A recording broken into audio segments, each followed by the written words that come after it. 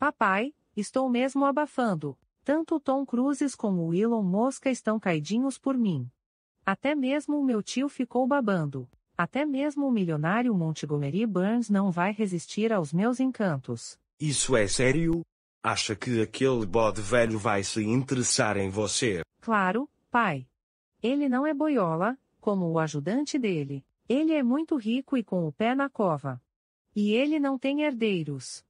Se o senhor entende o que digo. Puxa, se eu soubesse disso, teria dado em cima dele. Não existe alguém mais esperta que eu. Ah, eu não acredito que aquela trolisa pode conquistar o Tom Cruise.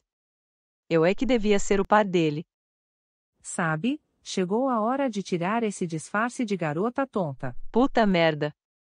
O que foi? Eu sou uma pirata. Você os colocou pra correr. Obrigado por me salvar. Obrigado, nada. Eu vi o que fez aquele rapaz. E sei que você e seu chefe queriam roubar o ouro do tio Fundungus.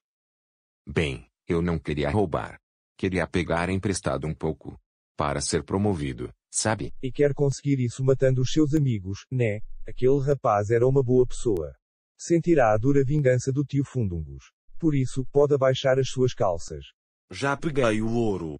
Vamos cair fora daqui. Ora, porque a tia Lesbos saiu correndo daqui? Acho que ver um mulherão com meu fio dental foi muito pra ela. Não é todo mundo que aprecia o corpão sensual de uma mulher com você. E eu estou doidona de tesão.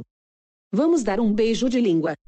Quem não gostar de ver isso, foda-se. Minha nossa. Acho que esse pequeno casal não sabe como as mulheres adultas se beijam. Oi, Joyce.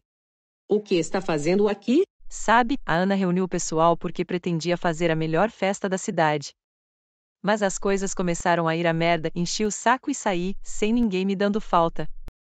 É por isso que prefiro ir mais a funerais do que festas, são mais divertidos.